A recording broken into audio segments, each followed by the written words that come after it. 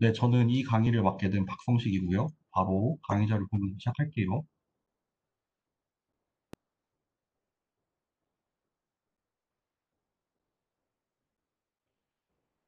네, 뭐 아시다시피 이 수업은 뭐 machine learning과 data science라는 뭐 학부 4학년 수업으로 알고 있고요. 뭐 이 학수 번호가 SCS 404인데 어, SCS가 뭔지 저는 사실 잘 모르고요. 저는 이번에 9월에 새로 임용이 된 신임 교원이고 오늘이 9월 3일인가요? 9월 2일이네요. 오늘로 지금 출근은 이틀째 하고 있는 네, 사람입니다. 저는 인공지능학과에 속해 있고 지금 인공지능학과의 교수님이 저 포함해서 두분 계세요. 한 분은 이제 학과장님이고 다른 한 명이 저고요. 저희가 2분 반인데 제가 알기로 1분 반을 이제 저희 학과장님인 김지희 교수님께서 맡으시고 뭐 이제 그 수업에 뭐 인원이 다 찼거나 뭐 시간표가 좀 안 맞거나 하는 사람들을 위해서 이번에 새로운 분반이 개설돼서 이제 그 강의를 제가 맡게 되었습니다. 저는 어, 작년 8월에 박사를 받았고 저는 학사랑 박사를 전부 기계공학과에서 나왔어요. 기계공학과에서 robo, robotics를 전공을 했었고 이제 robotics 중에서도 뭘 했냐면은 이제 machine learning이랑 로봇 제어를 약간 전공을 했는데 이제 뭐 근육에서 발생하는 생체 신호를 가지고 뭐 사람이 어떤 동작을 하는지를 판별을 하는 걸 machine learning을 써서 하고 이제 그걸 가지고 이제 로봇을 내가 원하는 대로 움직이게 하는 거를 네, 전공을 했습니다. 그래서 뭐 기계공학과긴 한데 뭐 robotics나 machine learning, 뭐 확률 이런 거에 좀 네, 특기가 있어서 이제 이번에 인공지능학과에 처음 뽑히게 됐고요. 네, 저도 사실 뭐 여러분들 학부 4학년인데 뭐 따지고 보면은 네, 저보다 선배님들이죠. 여기 동국대학교에서 벌써 최소 4년 이상을 계셨던 분들이니까 저는 이제 이제 이틀 차입니다. 이틀 차인데 이틀 차인데 지금 맨날 새벽에 들어오고 있어요. 너무 힘드네요. 하여튼 그렇고 오늘은 이제 첫 주차 수업이고 machine learning에 대한 introduction 소개를 간단하게 하는 수업을 준비를 했습니다.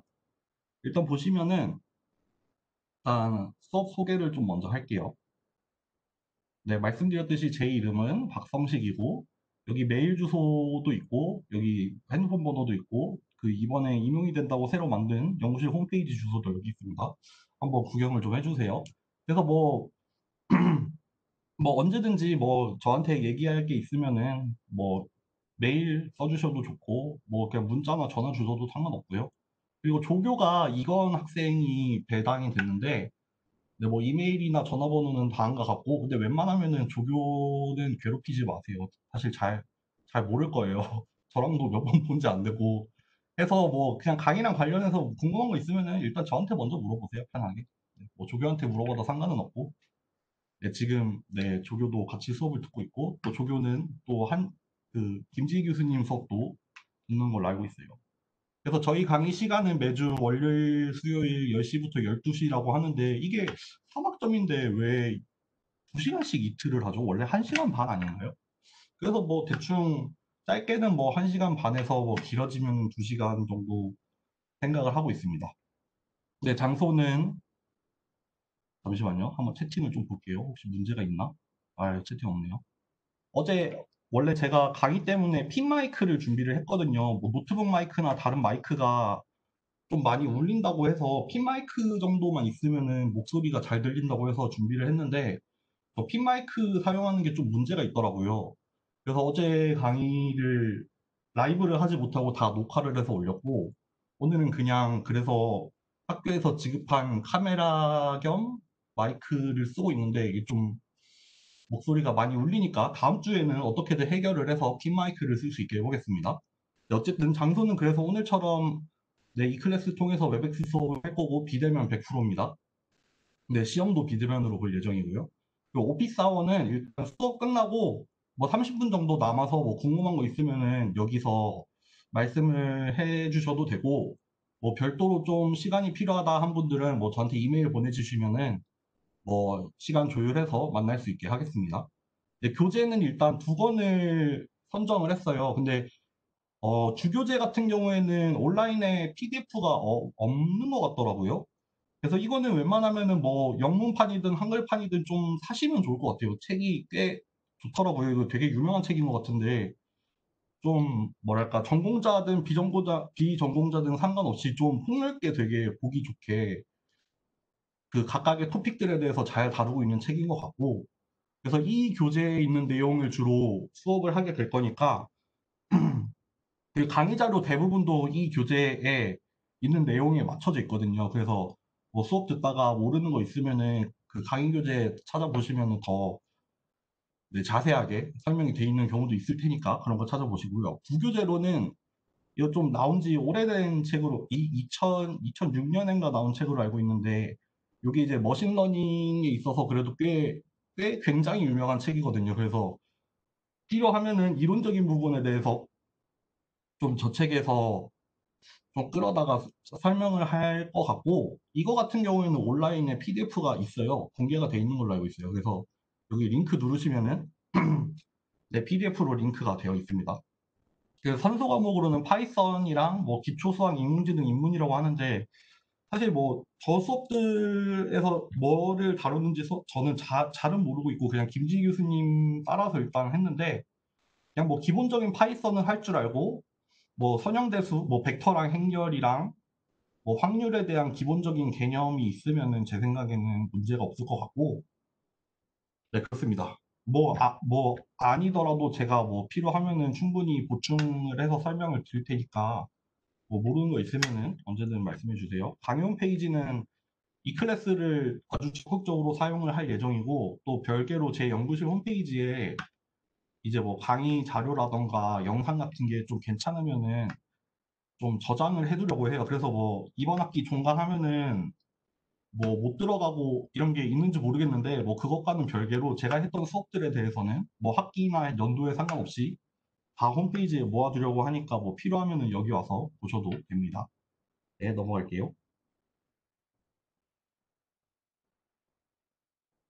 그래서 일단 강의 강의 계획서에 나온 대로 어, 이번 학기 강의는 총 15주를 해서 뭐 각각의 토픽들에 대해서 어, 주 단위로 좀 네, 커버를 하려고 해요. 그래서 어, 중간고사 이전으로는 좀 기본적인 machine learning 개념들, 그리고 중간고사 이후로는 이제 요즘에 좀 많이 핫해진, 원래, 원래도 핫했지만 더 핫해진, 이제 neural network를 기반으로 한 뭐 방법들을 할 거고, 이 각각의 수업 날짜를 여기 오른쪽에 같이 써놨어요. 아, 요거를 써야겠다.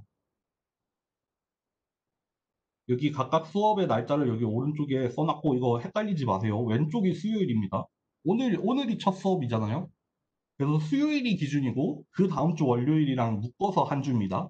그러니까 오늘 9월 2일이랑 다음 주 9월 7일 월요일이 첫 주차 수업이 될 거고 이런 식으로 쭉쭉쭉쭉 가서 이제 5주차 때는 이때 수요일이 추석 연휴더라고요. 그래서 이때는 수업 안 할 거고 대신에 뭐 제가 필요하면은 뭐 영상을 녹화를 해서 올려드릴 테니까 그거를 보시면 될 것 같고 그리고 여기 8주 차에는 중간고사를 볼 거예요. 중간고사는 따로 시간 안 잡고 그냥 수업 시간에 볼 거고, 여기, 그래서 수요일에 휴강을 하고, 월요일에 수업 시간에 시험을 보는 걸로 하겠습니다.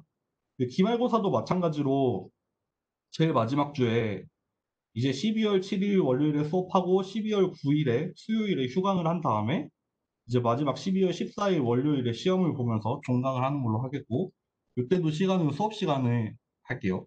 네. 그래서 뭐, 네, 스케줄은 뭐, 이 정도로 보면 될 것 같습니다. 네, 여러분들이 궁금해 하시는, 어, 점수 매기는 방식을 설명을 해드릴게요. 근데, 어, 이거 좀 뺄게요. 이거, 일단 출석,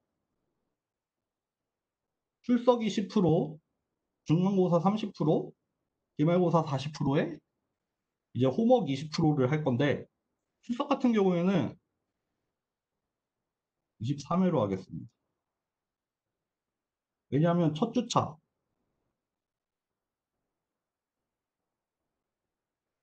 출첵 안 하겠습니다. 그럼 두 번이 빠져서 총 23번 수업을 출첵을 할 거고요. 보강도, 보강도 제외하고. 그래서 출석 점수를 그런 식으로 매길 거고, 이제 출결 같은 경우에는 이 클래스에 자동으로 이 수업을 참석을 했는지 안 했는지 카운트가 되더라고요. 그래서 그냥 간단하게 그걸 기준으로 해서 출석했으면 10점, 지각은 5점. 그래서 지각 두 번이면은 결석이랑 동일하게 됩니다. 결석은 0점 해서 전체 전체 출석 점수 합친 다음에 그거를 23회로 나눠서 이제 10점을 배점을 할 거고요. 이제 뭐 마찬가지로 뭐 말씀드렸듯이 10월 26 월요일에 중간고사 보고 만점에 30점 곱해서 30점으로 만들고 또 12월 24일에 수업 봐서 아 시험 봐서 40점으로 만들고 그리고 호목 같은 경우에는 각 숙제별로 나오는 점수에다가 20을 곱해서 네 전체 합을 100으로 만드는 그런 방식을 쓰겠습니다. 이해되시죠? 음, 잠시 채팅방을 잠깐 들릴게요. 아유 없네요. 넘어갑니다. 그래서 뭐 출결 같은 경우에는 얘기를 했고 시험 같은 경우에는 일단 웹엑스를 통해서 시험을 볼게요. 그래서 뭐 시험 시작하기 전에 전부 다 들어오셔서 카메라를 준비를 하셔가지고 뭐 노트북이든 핸드폰이든 그래서 자기가 시험을 보려는 그 책상 위랑 자기 몸이 다 보이게 카메라를 설치를 해주셔서 카피를 방지를 할게요. 그래서 손으로 뭐 하나, 뭐 얼굴 얼로 돌아가나 다 보이게. 그렇게 해서 세팅을 한 거를 확인을 한 다음에 이제 뭐 여기 뭐 채팅방이나 아니면은 이 클래스 통해서 시험 문제를 올리면은 이제 그때부터 수업 시간 동안 동시에 시작을 해서 시험을 보고 이제 시험 마친 다음에는 그 카메라에 보이게 시험지를 한번 보여주고 그거를 스캔해서 올리고 이제 원본도 실제로 뭐 필요하면은 제출을 하는 식으로 해서 채점을 하려고 해요. 이거는 나중에 시험 볼 때 좀 더 정확하게 이제 방법을 정해서 따로 또 공지를 해 드릴게요. 그렇게 시험을 볼 거고 숙제 같은 경우에는 뭐 일주일에 평균 한 번 정도 나오, 내려고 하고 있고요. 그래서 만약에 월요일이나 수요일 수업에 공지가 되면은 이제 기한은 일주일을 줘서 일, 일주일의 기한을 줘서 월요일인 경우에는 그 다음 주 일요일, 수요일인 경우에는 그 다음 주 화요일까지, 화요일 밤 11시 59분까지. 그러니까 일요일에서 월요일로 넘어가는 그 밤, 아니면 화요일에서 수요일로 넘어가는 그 밤을 얘기하는 겁니다. 그때까지 내시면 되고 숙제의 채점 같은 경우에는 그냥 머리 아프지 않게 딱 그냥 딱 세 가지 경우로만 채점을 할 거예요. 숙제 뭐 10점짜리 숙점이다. 제대로 풀었다. 그러면은 100%. 만약에 좀 상태가 많이 불량하다. 아니면은 좀 많이 틀렸다. 이러면은 20%. 2점이죠. 10점 만점이면 2점. 그리고 제출 안 하던가 딜레이를 하면은 그냥 빵점을 줘버려서 뭐 채점하는 사람이 그냥 편하게 그리고 뭐 웬만하면은 만, 뭐 내면은 만점 드릴 거예요. 이거 점수를 깎으려고 하는 게 아니라 웬만하면은 성의 있게 해라 하는 김에 그냥 그런 그런 느낌입니다.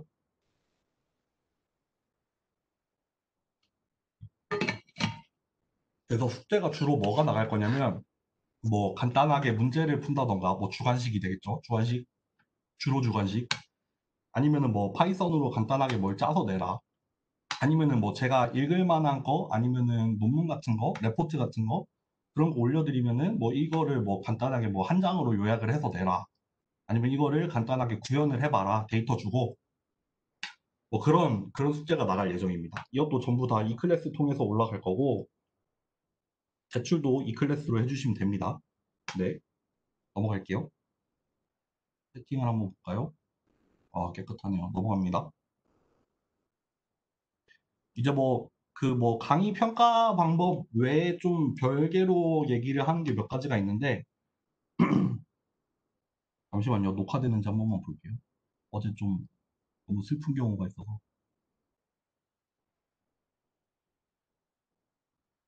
아, 되고 있네요. 네, 강의 끝나고 녹화는 전부 다 하고 있고, 그래서 다시 보기를 항상 올려드릴 거예요. 다시 보기는 이 클래스에 올릴 거고 그리고 다시 보기에 시간 제한을 두지 않고 그냥 종강 때까지 언제든지 볼 수 있게 해드리겠습니다. 그래서 뭐 시험 기간이다 해서 다시 봐야 된다 아니면 뭐 내가 수업 빠졌다 그러면은 언제든지 들어와서 이거 그래도 비대면 강의의 아주 대표적인 강점이잖아요. 이런 거 써먹어야죠. 안 그래도 지금 비대면 하는 것도 억울한데 이런 거라도 있어야죠. 그리고 뭐 제가 뭐 필요한 경우에 뭐 좀 보충할 만한 자료나 수업이 필요하면은 뭐 녹화를 하던가 준비를 해서 이 클래스에 업로드를 해 드릴게요. 근데 뭐 이거 꼭 뭐 봐야 된다거나 하, 지는 않겠지만 네 뭐 웬만하면은 출, 출첵 출첵에 포함 안 할게요. 그리고 이거는 좀 제가 예전부터 학생 때부터 되게 하고 싶었던 건데 학기 내내 이 여기 링크에 들어가면은 그 구글 시트가 있어요. 구글 시트에 그냥 간단하게 이름 입력하고 의견 입력하고 이거 딱 두 개밖에 없는데 이름은 필수가 아니에요. 이름을 안 써도 제출할 수 있게 해놨거든요. 그래서 익명이 가능해요.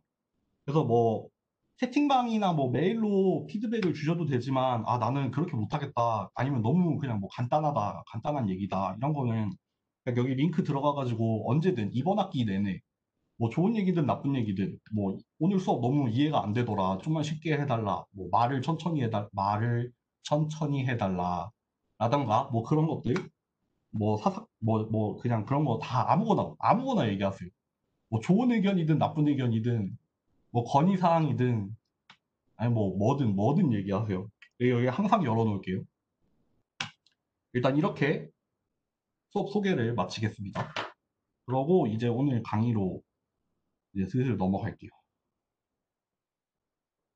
잠시 물을 한 잔만 하겠습니다.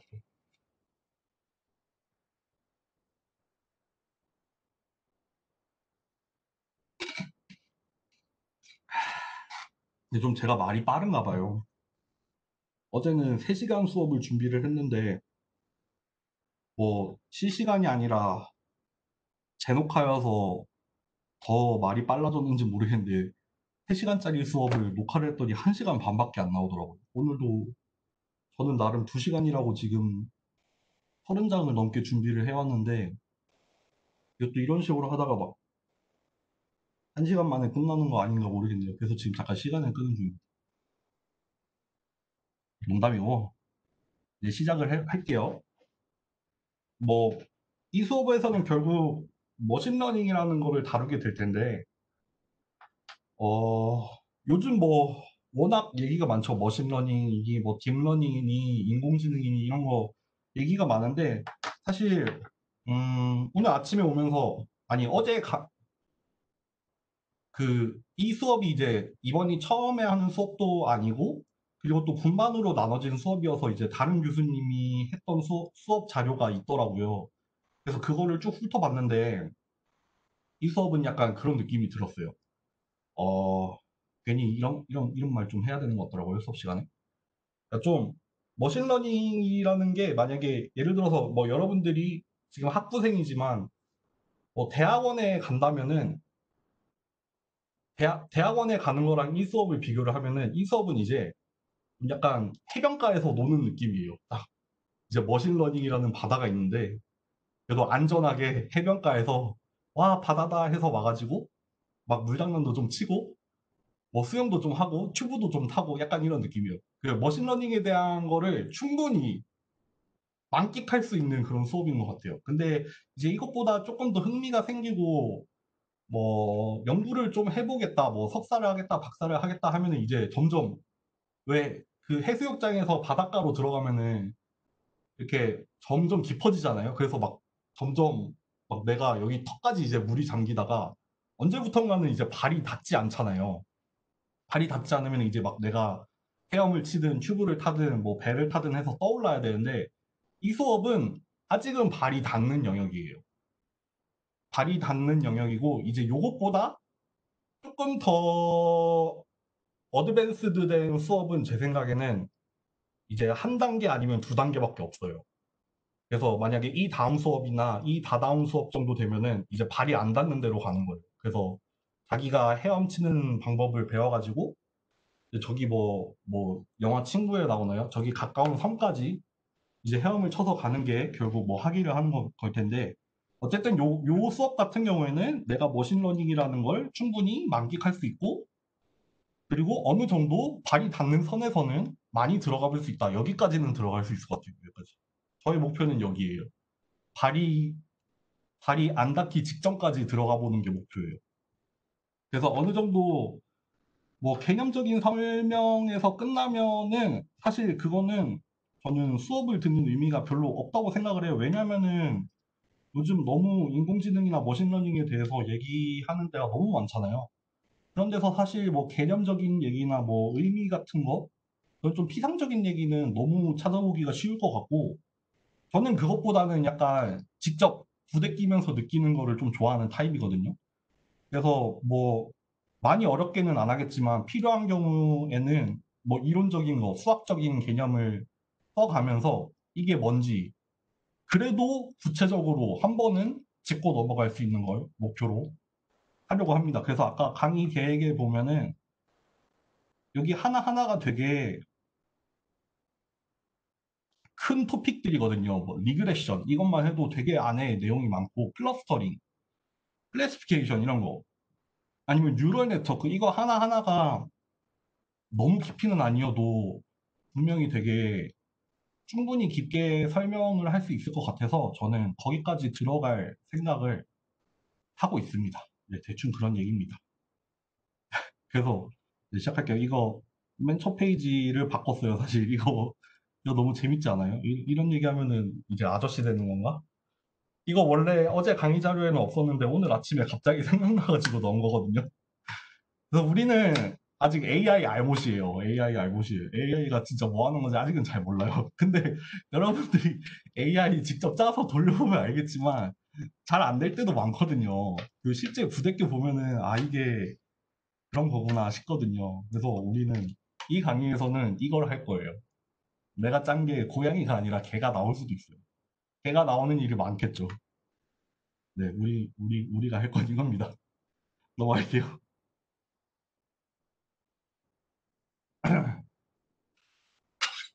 잠시만요. 음, 안녕하세요. 네, 아, 들어오셨네요. 네네. 알겠습니다. 그래서 machine learning이라고 하면은 이제 제일 유명한 말이 있어요. 이거 제가 제가 제일 주- 좋아하는 말이죠. 그리고 뭐 그 뭐죠? 엔, 앤드류 응인가요? 그 machine learning 대가분이 하는 그 콜스 Coursera인가요? 그 open open course 강의에서도 그분이 맨 처음 introduction에서 언급하는 말이 이거예요. machine learning이 무엇인가에 대해 얘기를 하는데 컴퓨터가 어떤 능력을 갖는 거죠. 어떤 능력이냐 하면은 내가 이거를 명시적으로 explicit하게 뭐뭐 해라 라고 프로그래밍을 하는 게 아니라 그냥 컴퓨터가 스스로 뭔가를 배울 수 있는 거를 machine learning이라고 한다는 거죠. 네. 뭐 그저 그 이 뒤에 이제 그 이메일의 스팸 필터 이야기가 나오겠지만 내가 하나하나 명시적으로 뭐 어떤 일이 일어났을 때 어떤 행동을 취하라고 뭐 어떤 모델이 됐든 간에 그거를 다 기술을 일일이 하는 게 아니라 구체적으로 명시적으로 내가 이거를 기술을 하는 게 아니라 뭐 어떤 데이터가 있으면은 어떤 데이터를 가지고 아니면 어떤 뭐 경험을 가지고 컴퓨터가 스스로 뭔가를 배우는 거죠.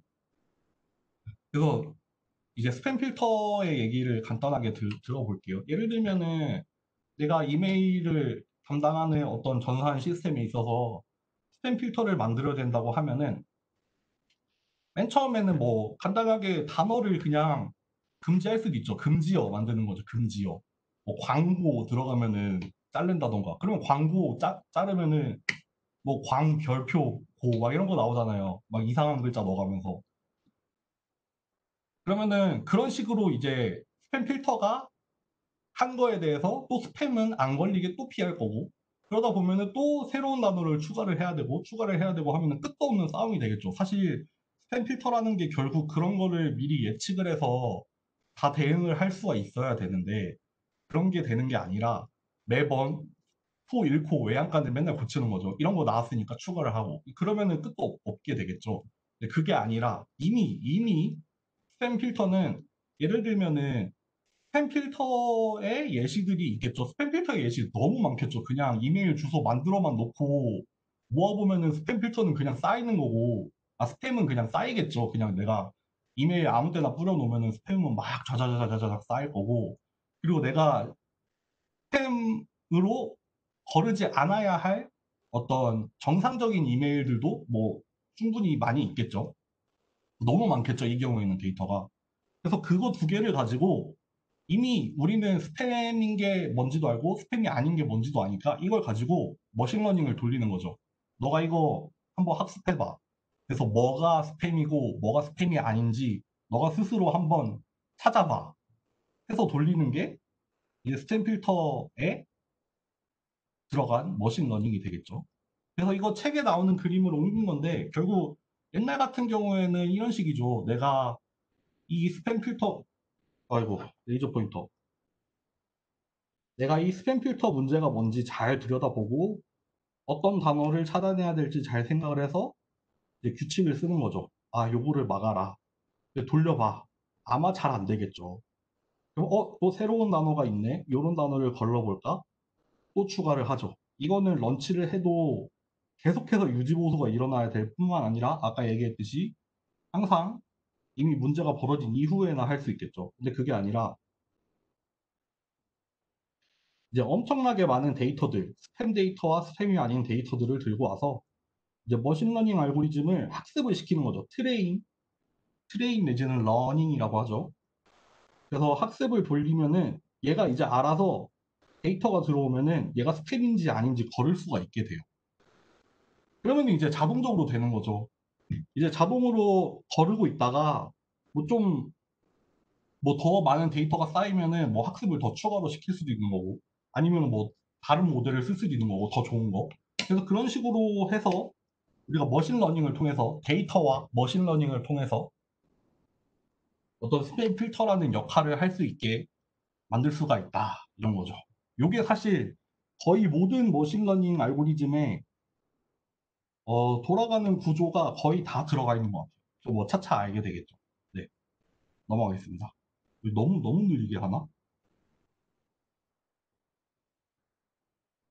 그래서 여기서는 세 가지의 개념에 대해서 설명을 해요. 첫 번째는 인공지능, 두 번째는 머신러닝, 그리고 세 번째는 요즘 요즘 많이 나오는 딥러닝이라는 걸 얘기를 하는데 제 생각에 인공지능이라는 말은 좀 되게 추상적인 개념인 것 같아요. 여기 써, 써 있듯이 제일 넓은 의미에서 인공적으로 구현한 모든 지능을 얘기를 하는 거죠. 예를 들면은 제 생각에는 자율주행 자동차 이런 건 인공지능인 것 같아요. 근데 그 안에 자율주행 자동차 안에 머신러닝 알고리즘들이 되게 많이 들어가 있겠죠. 예를 들면은 자율주행 자동차에는 뭐 전후 좌우에 카메라가 달려서 뭐 차선을 인식을 한다던가 아니면은 지나가는 차들을 인식을 한다던가 아니면 보행자를 인식을 하고 신호를 인식을 하고 표지판을 인식을 하고 그런 것들이 아마 머신러닝을 통해서 이루어지고 있겠죠. 그러니까 머신러닝은 인공지능을 이루는 수많은 것들 중에 하나의 어떤 tool이에요. 뭐 내가 이 카메라를 보고 차를 찾아라.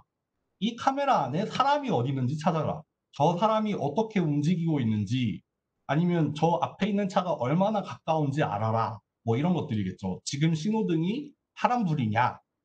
그런 것들이 이제 머신러닝으로 해결할 수 있는 문제들이죠.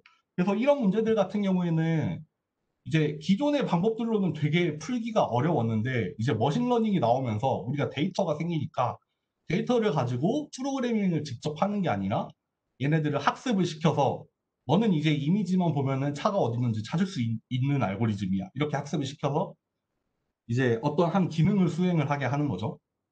이뿐만 아니라 여기 뭐 피처라는 얘기가 나오는데 뭐 간단하게 예를 들어보면은 어 여기 그림으로 간단하게 그려볼게요. 뭐 예를 들어서 여기 뭐 어떤 뭐 사과의 이미지가 있다고 쳐요.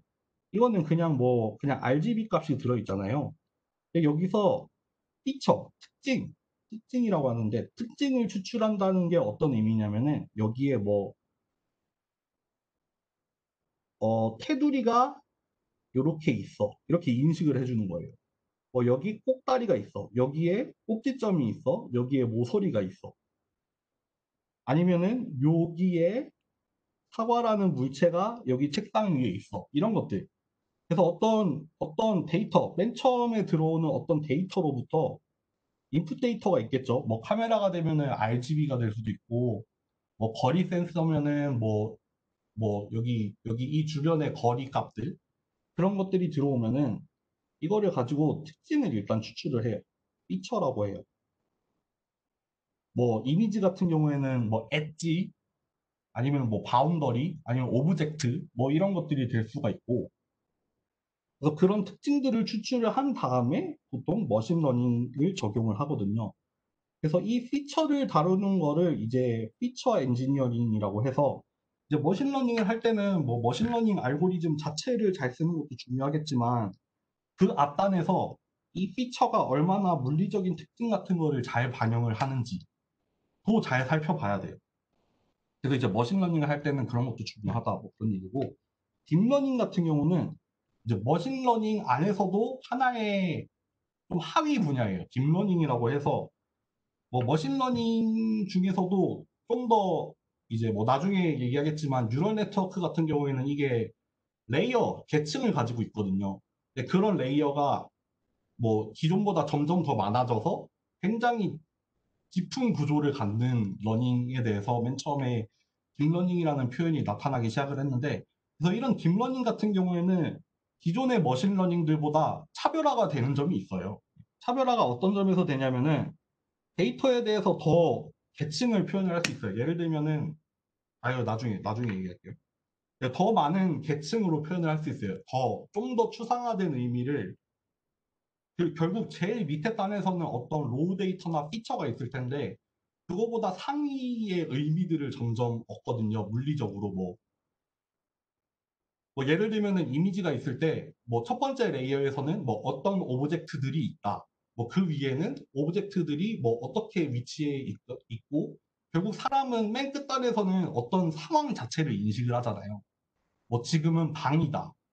뭐 강의 중이다. 이런 식으로 결국 뭐 간단하게는 맨 밑에서는 어떤 물체들이 어디에 위치해 있는지를 알고 그 위에서는 또 점점 더 higher level로 올라가는 그런 그런 것들이 가능해지거든요. 그래서 딥러닝에서는 계층적인 표현으로 추상화가 더 강하게 되죠. 그 특히 이 딥러닝의 강점 중에 하나가 feature가 없어도 돼요. 그러니까 피처 자체를 피처 자체도 자기가 학습으로 얻어낼 수 있다는 특징이 있어서 굉장히 강력한 면이 있습니다. 이 정도면 설명이 됐나요?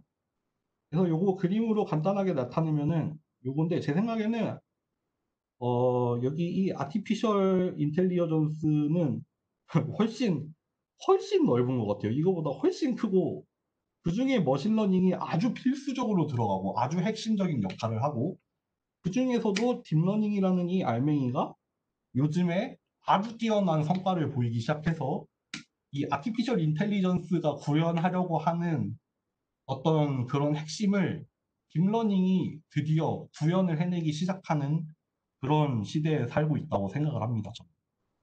불과 몇, 몇, 몇 년, 몇십 년, 저희, 우리 생애에서 이루어지고 있는 단계. 어우, 굉장히 멋있는 말 같잖아요.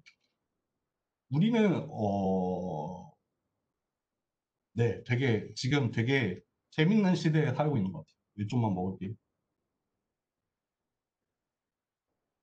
에이, 다 흘렸어. 그 machine learning 자체를 보면은 machine learning도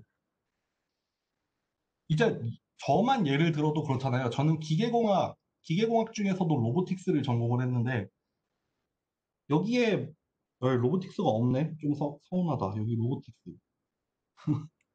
robotics가 들어갈 수도 있습니다.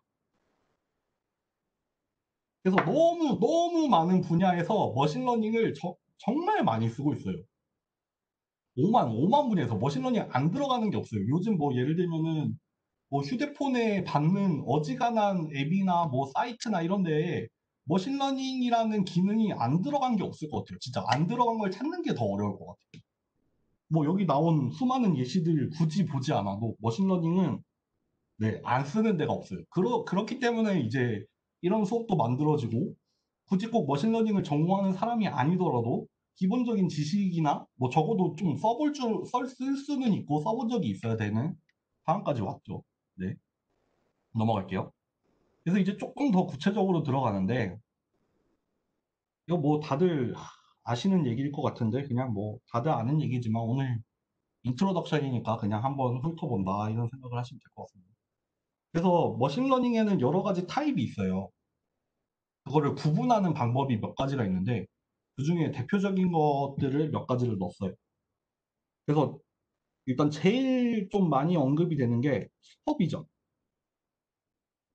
뭐 사람이 됐든 아니면 뭐 뭐가 됐든 어, 얘, 얘를 얘에 대해서 어떤 참값을 주느냐 얘를 학습을 시키는데 뭐 스팸 필터처럼 뭐가 맞고 뭐가 틀리는지 아니면 얘가 뭔지를 알려주는지 안 알려주는지에 대해서 알려주는 경우에 이제 supervised learning이라고 하고 알려주지 않는 경우에 이제 unsupervised learning이라고 해서 뭐 여기 여기 밑에서도 막 엄청 많은 알고리즘들이 있고 여기 밑에도 막 많은 알고리즘들이 있어요. 사- 사실 그냥 machine learning이 있으면은 일단 처음으로 나누어 볼 수 있는 게 얘가 supervised냐 unsupervised냐 뭐 이런 이런 게 있고 그리고 사실 이게 꼭 이렇게 두 개로만 나뉘지가 않아요. 그래서 나오는 게 이제 semi supervised 내지는 좀 궁금하신 분들은 뭐 이런 것도 찾아보세요. 뭐 self supervised 이런 것도 나와요. 이런 것도 요즘 좀 나오는데 네 그리고 요 뭐 supervision이랑은 약간 결을 달리하지만 reinforcement learning이라고 해서 요것도 이제 좀 요즘에 꽤 각광을 받고 있죠. 이거 나중에 다 설명해 드릴게요. 이제 목표가 되는 두 번째로는 목표가 되는 출력 값의 종류에 따라서 요거는 요거는 요거는 이전 강의 자료에 없는데 제가 추가를 한 내용입니다. 그래서 목표가 되는 출력 값의 종류에 따라서 얘를 구분을 하기도 해요. 그래서 예를 들어서 제일 먼저 나오는 게 classification, classify 한다고 하죠. 얘가 뭔지 분류를 한다. 얘 같은 경우에는 discrete하고 카테고리가 된 어떤 값을 줘요. 예를 들면은 이미지를 보고 얘가 뭐 사람이냐, 개냐, 고양이냐, 뭐 컴퓨터냐, 차냐 이런 거를 판단을 하는 게 뭐 image classification 내지는 object classification 뭐 이런 게 될 수도 있고 제가 전공했던 걸 예로 들면은 이제 근육 신호를 보고 사람이 지금 어느 동작을 했냐, 뭐 앉았냐, 일어났냐, 걷냐, 뛰냐 를 classify classify 하니까 제가 했던 것 중에는 motion classification 이런 게 있었죠. 그리고 두 번째로는 회귀. 이거는 통계학에서도 나오죠. 회귀. 내지는 그 엑셀에도 있는 뭐 추세선 이런 거죠. 추세. 뭐 1차 회귀, 2차 회귀 이런 거 나오잖아요. regression이라고 하죠. regression 같은 경우에는 출력값이 뭐냐면은 continuous한 거예요. 뭐 예를 들면은 저는 로봇공학자니까 예를 들자면 뭐 포지션, force 그 이런 게 나오기도 하고 뭐 앵글 또 감이 오시나요? 아니면은 뭐 주가지수 뭐 이런 게 될 수도 있겠죠. 제가 제가 robotics 전공이라서 regression 딴 딴 게 뭐가 있는지 잘 모르겠네요. 근데 기계공학에서는 많이 나오는 게 force regression을 많이 해요. 뭐 예를 들면은 생체 신호, 뭐 근육 신호를 보고 이 사람이 근육에서 얼마나 나- 많은 힘을 냈냐 이런 거를 뭐 뉴턴으로 이거는 이제 딱 정해진 값이 아니라 그냥 실수잖아요. continuous한 값이죠. 그러니까 그런 거를 찾는 걸 regression이라고 하고 그리고 또 세 번째로 좀 약간 작은 분류긴 한데 detection이라고 하는데 이거는 true, false로 나오는 거예요. binary, binary value. 예를 들면은 뭐, 뭐 스팸 필터도 스팸이 classification도 되지만 사실 뭐 detection도 되죠. 근데 detection이라고 하는지 모르겠네요. 아니면은 뒤에 나오겠지만 뭔가 이상한 값을 감지하는 거 있죠. 예, 뭐 outlier 탐지하는 거. 그래서 뭐 데이터들이 막 데이터들이 막 이렇게 막 모여 있다가 갑자기 하나 삑 튀고 이렇게 이렇게 이렇게 요런 거, 요런 거를 요런 거를 감지하는 거. 지금이 정상이 아닌 거 를 감지하는 거. 뭐 그런 게 있겠죠. 또 또 세 번째로는 이제 데이터를 데이터를 학습에 어떻게 쓰냐에 따라서 뭐 온라인으로 학습을 할 수도 있고 네, 실시간으로 한다는 거죠. 아니면은 전체 데이터를 다 올려서 뭐 batch learning을 한다고도 하는데 이거 뭐 나중에 설명 드릴게요. 시간 잘 가네. 요 시스템이 일반화되는 방법이라고 하는데 요거는 뒤에서 좀 더 자세하게 다루는 게 좋을 것 같아요. 넘어갈게요.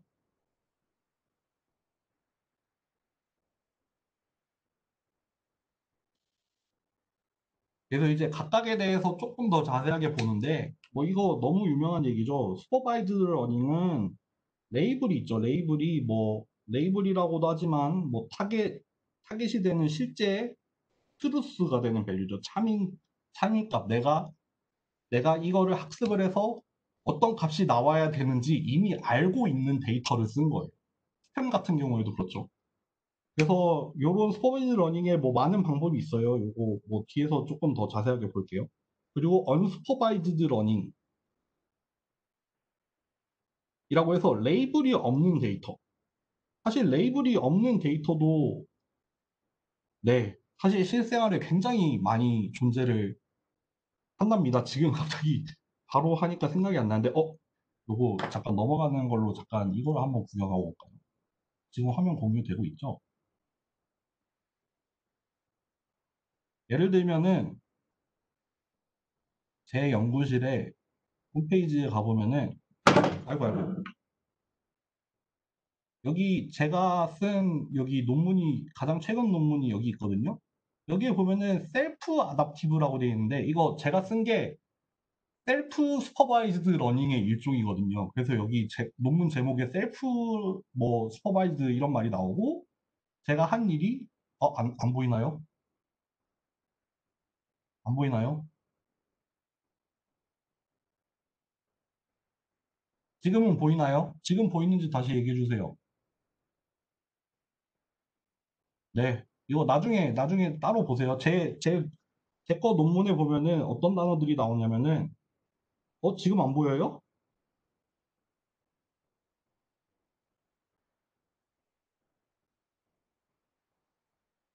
지금 보이나요? 다시 강의 자료로 안- 어, 네, 강의 자료예요. 강의 자료. 강의 자료입니다. 오케이, 강의 자료. 네, 이거는 강의 자료. 그냥 딴 얘기니까 그냥 제끼고 다시 갈게요. 네, 레이블이 없는 데이터에 대해서 하는 게 supervised learning이다. 네, 넘어갈게요. 그래서 예를 들면은 이거 아시는지 모르겠는데 여기 supervised learning이라고 nearest neighbor라고 해요. 그 예를 들면은 요 하나 추가를 해서 말씀드릴게요.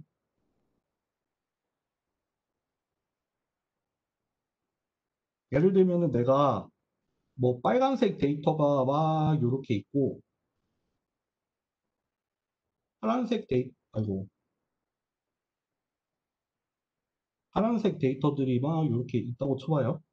어떻게 할까? 이렇게 할까?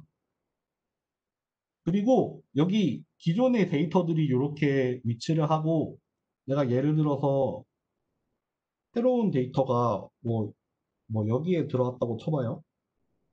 그러면 얘, 얘는 제일 가까이 있는 뭐 예를 들면은 뭐네 개, 네 개를 보자라고 정의를 했으면 제일 가까이에 있는 네 개의 샘플을 보고 네 개의 샘플을 봤더니 지금 빨간 게세 개고 파란 게 하나니까 아 얘도 빨간 거다 라고 판단을 하는 알고리즘이 니얼리스트 네이버예요.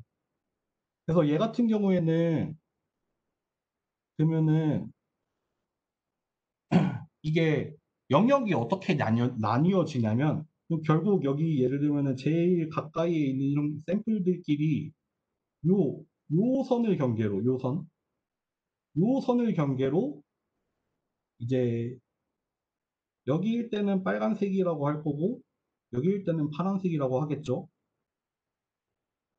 반대로 이쪽에서도 이렇게 수직선을 그어서 아마 여기 이렇게 만나겠죠. 그래서 여기 안쪽에서는 파란색이라고 할 거고 여기서는 빨간색이라는 디시전을 내릴 거죠. 결국 이런 식으로 나오겠죠. 여기 이렇게 가다가 또 여기도 이렇게 나오고 뭐 이런 식으로 이런 식으로 나올 거란 말이에요. 무슨 느낌인지 알겠어요? 그래서 여기가 다 빨간색이 되고 여기가 다 파란색으로 나오겠죠. 그러니까 nearest neighbor 같은 경우에는 우리 나중에 얘기하겠지만 decision boundary가 이런 식으로 나와요. 여기 이 그림 보여요? 그렇게 약간 아 이거 뭐 이- 부르는 이름이 있었는데 갑자기 기억이 안 나네요. 하여튼 이런 모양의 형태로 나옵니다. 보면은 결국 가까운 두 점을 이어놓고 수직선을 그어서 그거가 이제 파티션이 되는 거죠. 약간 무슨 그거 같지 않아요? 엽록 엽록소 식물 세포 보는 것 같지 이렇게 네 하여튼 그렇습니다. 그렇고 넘어갈게요. 요거는 nearest neighbor입니다. neural network 같네 이렇게 쓰니까. 이거 뭐 여러분 많이 아시듯이 아까도 얘기했지만 추세라는 게 나오죠. 추세라는 것도 여기 보시듯이 파란색의 참값을 가지고 이런 어떤 데이터의 거동을 이렇게 예측을 하는 게 regression이죠. 이거는 linear re- regression의 일종이라서 선형으로 나오고 뭐 polynomial로 하면은 뭐 이런 식으로도 추세를 할 수가 있죠. 이것도 다 supervised learning이죠. 왜냐하면 참값이 있으니까. 반면에 unsupervised learning은 이런 거예요. 예를 들면은 대표적으로 뭐 나중에 얘기, 얘기하겠지만 아이고 clustering이 빠졌네. 여기 앞에 나오는데 요거 요 그림 있죠. 요거를 clustering이라고 해서 요게 제일 대표적인 unsupervised method고요. 요게 사실은 색깔이 있는 데이터가 아니라 없는 데이터, 레이블이 없는 그냥 평범한 데이터들인데 이게 보면은 뭐, 뭐 크게는 여기 하나, 여기 두 개의 집단을 이루고 뭐 조금 더 세밀하게 보면은 여기 하나, 여기 둘, 여기 세 개 이렇게 모여 있잖아요. 그런 그룹들을 찾아보, 찾아주는 알고리즘이 이제 clustering이죠. 군집을 이루, 이루는 걸 찾는 알고리즘. 그렇기 때문에 레이블 없이 돌리는 알고리즘의 대표적인 예가 되겠죠. 여기서도 예를, 보- 예를 들면은 여기 이렇게 데이터가 이렇게 모여 있는데 얘네 둘이 가깝고 얘네 둘이 가깝고 그 다음 얘가 가깝고 그 다음 뭐가 가까운지 모르겠는데 하여튼 그거를 이렇게 계층적인 구조 하이러키컬한 클러스터링을 한 거죠. 그래서 제일 밑에 단에서는 요, 요거가 맨 처음에 묶이고 요거가 맨 처음에 묶이고 그 다음으로 가까운 F가 이렇게 묶이고 그 다음에는 요거 두 개가 묶이네요. 아, 알겠어요. 이러니까 hierarchic hierarchical clustering, 계층적인 clustering이라는 거죠. 여기 뭐 이거 같은 경우에는 동물 분류하는 거 이거 뭐, 뭐 이거 되게 이것도 뭐가 하나가 있는 걸로 알고 있는데 계통 분류학 약간 이런 거 있어요. 이거 나무위키 보면 나무위키에 되게 재밌는 재밌는 항목 중에 하나예요. 그리고 여기 뭐 한국말로는 뭐라고 하죠? 주성분 분석이라고 하나요? 여러분들이 저보다 영어 더 잘할 테니까 영어로 할게요. principal component analysis라고 해서 여기 예를 들면은 여기 데이터가 어떤 요런 색의 집단을 이루잖아요. 그래서 예를 들면은 데이터가 이쪽 방향으로는 되게 variance가 크죠. variance가 최대화되는 방향이 아마 요 축이 될 거고 variance가 최소가 되는 방향이 아마 요 수직인 게 될 건데 요런 요런 요런 basis를 얻어내는 거를 이제 PCA라고 해요. 요것도 나중에 아마 배울 거예요. 요것도 데이터에 레이블이 없이 이루어지는 unsupervised learning이죠. 요거 t-SNE 이거 이거 되게 되게 되게 유명한 알고리즘이고요. 이거 같은 경우에는 예를 들면은 뭐 이미지나 뭐 이런 게 되게 차원이 높거든요. 왜냐면은 아, 뭐 작은 이미지만 해도 뭐, 뭐 50 by 50만 해도 값이 벌써 200, 2500개인가요? 2500개가 나오니까 굉장히 높은 차원의 데이터인데 그거를 이제 dimensional reduction이라는 걸 통해서 차원을 압축하는 거죠. 내가 최대한 이 정보들을 살리면서 예를 들어서 뭐 서로 다른 막 그룹들이 잘 떨어져 있는데 그거를 최대한 유지를 하는 방향으로 뭐 차원을 축소를 시키겠다. 그래서 지금 보면은 되게 여러 가지의 카테고리에 대해서 되게 다차원의 어떤 데이터를 지금 2D에다가 2D인지 3D인지 모르겠지만 그거를 리덕션을 시켜서 차원을 축소를 시켜서 이제 그림으로 나타낸 거고 그거를 해주는 되게 대표적인 알고리즘이 하나예요. 네, 넘어갈게요. 요거 아까 얘기한 거니까 그냥 넘어갈게요. 여기 보면 압니다. 그리고 이제 요거 요거를 먼저 얘기해 볼게요. 이거 같은 경우에 이게 semi-supervised learning이라는 게 아니라 요 우리 사람인지 아닌지 확인하는 이 CAPTCHA 있잖아요. 이게 사실은 제가 알고 있죠. 이게 사실 데이터를 얻는 거래요. 그러니까 supervised 레이블을 얻는 거죠.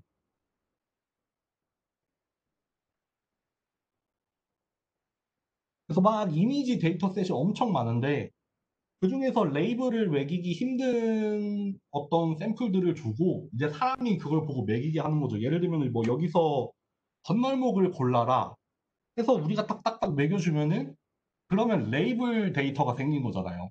그러면 그걸 가지고 supervised learning에 쓸 수 있으니까. 그래서 이게 사실 사람인지를 확인하는 거지만 역으로 우리의 노동력을 이용을 해서 이제 레이블을 만들어내는. 그러니까 결국 사실 어, 뭐 뒤에도 얘기가 많이 나오겠지만 데이터가 중요하죠. 데이터가 많은 게 참 중요하고 그런 데이터를 수집을 하는 거 잘, 좋은 데이터를 잘 수집하는 것 자체도 좋은 머신러닝을 쓰는 것만큼이나 뭐 아니면 더 중요할 수도 있는데 하여튼 이거는 데이터의 중요성에 대해서 얘기하는 거고 그래서 셀, semi-supervised learning이라고 하면은 사실 실제로는 여기 그림에 나온 것처럼 레이블이 있는 데이터도 있고 없는 데이터도 있고 그래요. 그런 게 막 섞여 있을 거란 말이에요.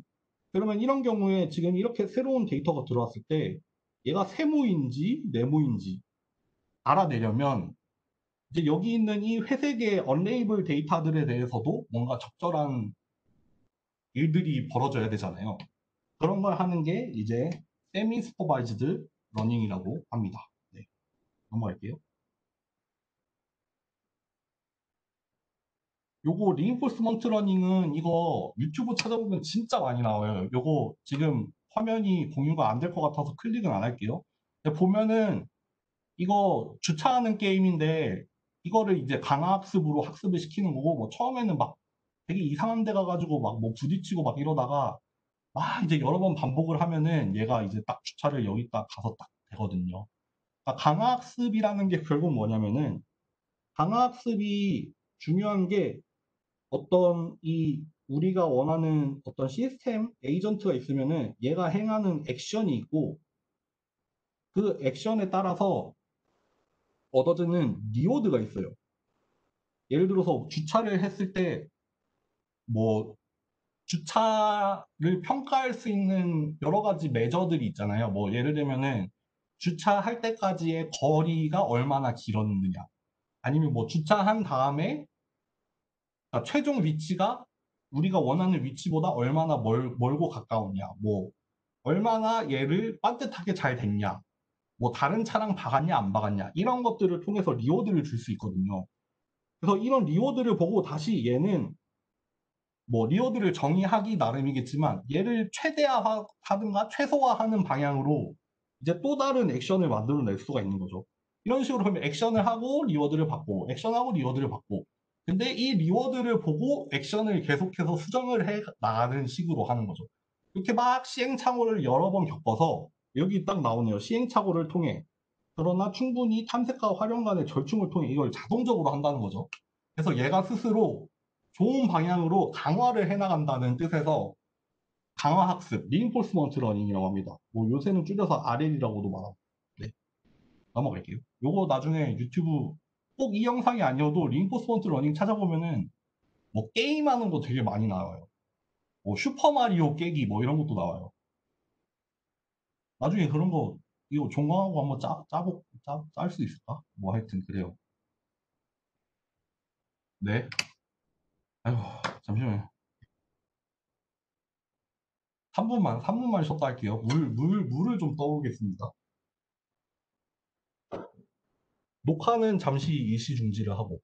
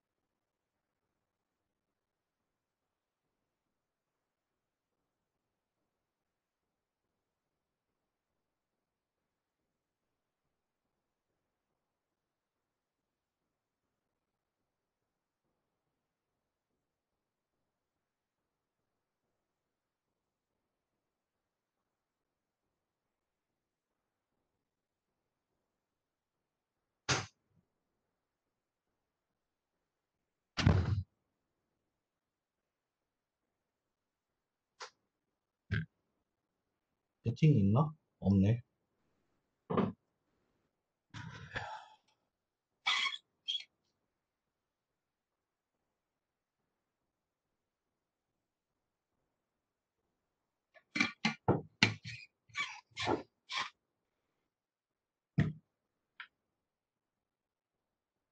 아, 다시 시작하기 전에.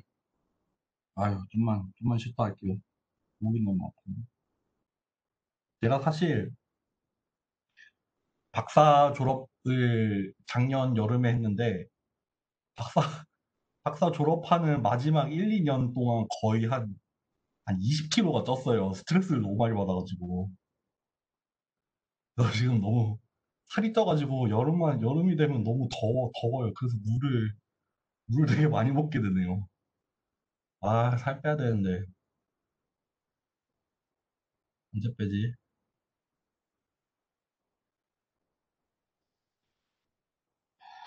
한 모금만 더 하고 다시 하겠습니다.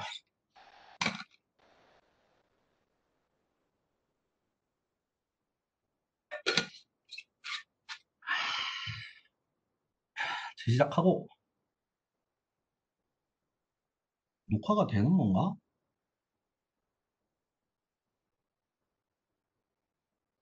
가겠습니다. 그래서 아까 기억나는지 모르겠지만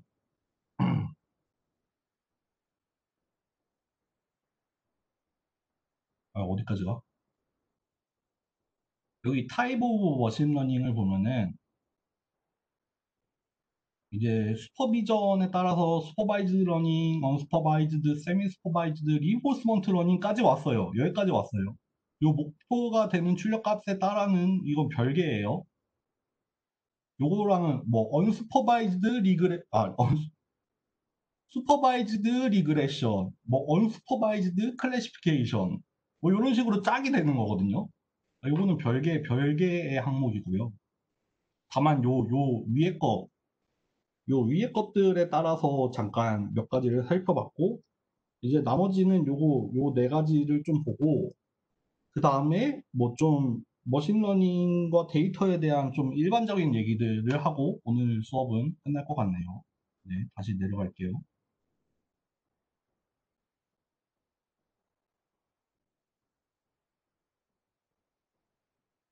여기는 죄송해요. 그림이 없어요. 그래서 데이터를, 데이터를 가지고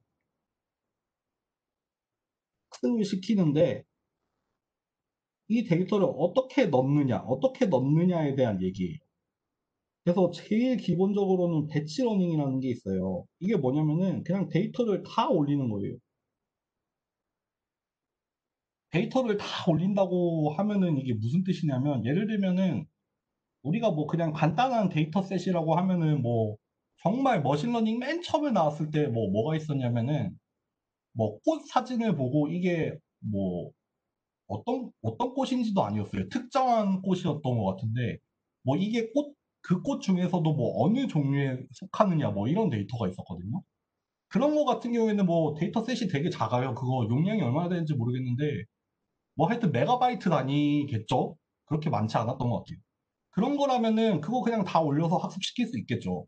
근데 그런 게 아니라 요즘 뭐 이미지 데이터, image classification 하는 데이터, ImageNet 이런 거 보면은 단위가 뭐 그냥 기가바이트도 아니고 막 몇십, 몇백 기가 뭐 이렇게 된단 말이에요. 그러면은 우리 그냥 컴퓨터 생각해 보면은 다 올리, 올린다는 게 결국 뭐 램에다가 올려서 계산을 할 텐데 그냥 생각만 해봐도 잘 안 되잖아요. 그러니까 batch learning이라는 거는 결국 그런 막 뭐 우리가 생각할 수도 없는 기가를 넘어서 뭐, 뭐 테라바이트, 뭐 페타바이트, 뭐 아마존이나 이런 데 같은 경우에는 그런, 그런 사이즈의 데이터도 아마 분명히 많겠죠. 테라가 문제겠어요? 그런 거 보면은 결국 batch learning은 전부 다 올려야 되니까 시간도 많이 들고 자원도 많이 들어가요. 그 컴퓨터 자체 뭐 이제 이게 그냥 데스크탑 레벨이 아니라 서버도 보통 서버가 아니라 막 데이터 센터 이런 게 이루어져야 되니까 그런 면에서 너무 한계가 뚜렷하고 그리고 data set이 바뀌면 이거는 다시 해야 돼요. 왜냐하면 전체를 다 가지고 학습을 시키는 거니까. 반면에 뭐 이런 이런 장점이 있는데 이거는 일단 읽어보고 무슨 뜻인지 아직은 느낄 수 없지만 해라고 하면은 이제 해 여기서 솔루션이 되겠죠. 그러니까 우리가 결국 학습을 통해서 이 모델을 어디론가 수렴을 시키는데 그 해의 전체 데이터를 쓰기 때문에 좀 이렇게 막, 막 왔다 갔다 하는 게 아니라 부드럽게 해를 수렴을 시킬 수는 있지만 문제는 local minima에 빠질 수 있다는 거예요. local minima 하면은 요, 요, 이렇게 있어서 우리가 찾아야 되는 global minimum 여기 여기를 찾아야 되는데 요런 데 빠질 수 있다. 뭐 이- 일반적으로 얘기하면 그런 얘기죠. 그래서 여기가 여기가 참값이겠지만 여기가 local minima가 되겠습니다. 지역 최저값. 그래서 이거에 반대되는 개념이 online learning이에요. online learning 같은 경우에는 데이터가 있으면은 그거를 전부 다 한 번에 처리를 하는 게 아니라 뭐 정해진 개수로 뭐 한 개, 데이터 하나 하나 하나 하나 하나 뭐 예를 들면은 하나 하나 하나 하나 읽어가면서 데이터를 순차적으로 처리를 하는 거예요. 그러니까 점진적으로 뭐 영어로 하면은 뭐 iterative 내지는 예, 정확한 표현인지 모르겠네요. recursive 뭐 이런 표현들이 나오겠죠. 그래서 각 학습 단계가 빨라요. 저 같은 경우에 다시 저, 저 제가 했던 연구를 예를 들면은 저 같은 경우에는 생체 신호가 이렇게 막 실시간으로 들어와요. 1초에 막 1000개씩 들어와요. 그러면 그 생체 신호를 보고 로봇을 실시간으로 돌려야 된단 말이에요. 그렇기 때문에 학습을 온라인으로 했었어요. 그래서 학습이 이루어지는 속도가 1ms 이내, 한 샘플에 대해서 1ms 이내에 일어나게 만들어서 샘플 하나 들어오고 학습을 돌리고 얘를 가지고 로봇을 돌리는 데까지 1ms 안에 해결을 해서 이제 전체 사이클을 1kHz로 1초에 1000번씩 돌아가게 만들었었거든요. 그러니까 그런 게 online learning이죠. 데이터가 순차적으로 쭈쭈쭈쭈쭈 들어오니까 그거를 나도 맞춰서 짜자자자자자 쭈쭈 쭈쭈쭈쭈 짜자자자 이렇게 하는 게 online learning이에요. 네, 하여튼. 그래서 좀 불규칙한 면이 있죠. 왜냐면은 샘플이 매번 막, 막 바뀔 테니까 이게 전체 샘플을 보면은 그걸 보고 판단을 할 수 있겠지만 그냥 매 샘플만 보면서 하기 때문에 불규칙한 면이 있고요. 그리고 순차적으로 들어오는 경우에 좋겠죠, 당연히. 컴퓨팅 자원이 제한적일 때, 요거 좀 약간 어폐가 있을 수 있는데, 하여튼 일반적으로 말하면 그럴 수 있겠죠. 요새는 이제 이 중간적으로 mini batch learning이라는 말이 나- 많이 나와요. 이게 특히 뭐 뉴럴, 뉴럴넷이나, 뭐 뉴럴넷이나, 아니면 딥, 딥 뉴럴넷, 뭐 이런 거, 이런 거에서 많이 나와요. 뭐 이런 거 블로그 좀만 찾아보면은 뭐, 뭐, batch size를 뭐 어떻게 해보세요. 이런 말이 정말 많이 나오거든요. 그러니까 dataset을 mini batch라는 걸로 나누는 거예요. 데이터를 여러 개로 쪼개서 각각, 각각에 대해서 batch, batch learning을 돌리는 거죠. 그러니까 mini batch라고 하는 거고, 그래서 이제 batch size, 내가 이 mini batch를 얼마나 한 번에 몇 개씩 가져가서 학습을 시킬 건가를 결정을 하게 되겠죠. 그러니까 batch랑 온라인 방식의 절충일 거고, 뭐, 중간적인 방법이니까 이런 특징이 있겠죠. 그리고 실제 대부분 프로그램에서 요즘에는 mini batch를 씁니다. 어지간하면은 네트워크 학습시킨다 하면은 mini batch size 이거 항상 항상 나와요 요즘에. 넘어갈게요. 요거 일반화에 대해서는 요 요것보다는 약간 요 뒤에 있는 이거를 보고 얘기를 할게요. 요 그림을 보면은 예를 들어서 여기 이렇게 파란색의 여기 파란색의 데이터들이 있고 우리가 참이라고 생각하는 이제 regression이 이렇게 사인처럼 초록색으로 나오는 경우인데 이제 요 파란색 데이터들을 가지고 초록색을 찾아보자는 건데 일단 뭐 그냥 constant라고 하면은 요렇게 그냥 짝대기가 나올 거고 얘가 1차 함수다 하면은 요 파란색 데이터들을 이렇게 선형으로 추세하는 어떤 선이 나올 거고 뭐 2차다라고 하면은 요렇게 잘 나오겠지만 만약에 얘가 여기 8차인가요? 9차인가요? 뭐 하여튼 그렇게 하면은 이 모든 데이터들을 정확하게 지나갈 수 있는 어떤 굉장히 해괴망측한 그래프가 나오겠죠. 그러니까 여기 여기 이쪽에서는 적당히 왜냐하면은 모델이 이 모든 어떤 모델이 이 모든 데이터를 설명할 수 있지 않죠. 에러가 발생할 수밖에 없어요. 여기 이렇게 에러가 발생할 수밖에 없어요. 모델이 점점 복잡해지면서 그러한 에러가 적당히 줄어나가기 시작하죠. 그래서 여기 억셉터블한 모델 같은 경우에 에러도 적당히 있지만 그 데이터의 어떤 경향도 적당히 정- 충분하게 설명을 해주는데 여기 마지막 같은 경우는 이제 모델이 너무 복잡하다 보니까 모든 데이터에 대해서 에러를 허용하지 않는 거죠. 분명히 여기에는 막 노이즈도 섞여 있을 거고 막 뭐도 섞여 있어서 아주 정확하지 않을 텐데 그거를 완전히 perfect하게 그냥 regression을 해버린 거죠. 그래서 아까 다시 거기로 가면 결국 일반화의 문제라는 거죠. machine learning이라는 거는. machine learning은 결국 일반화예요. machine learning은 결국 뭔가를 예측을 하는 건데 주어진 데이터가 있고 그거를 가지고 새로운 데이터를 예측을 하는 거니까 그러니까 데이터를 어느 정도로 일반화할 건지에 대한 선택이 나오는 거예요. 여기서도 뭐 이 데이터가